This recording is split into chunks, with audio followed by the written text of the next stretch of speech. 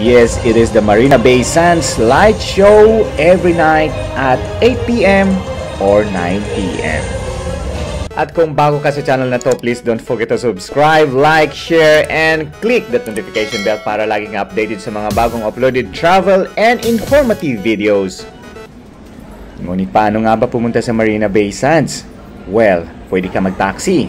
Ngunit ang the best and economical way ay ang MRT. Ito ay nasa Circle Line or Blue Line.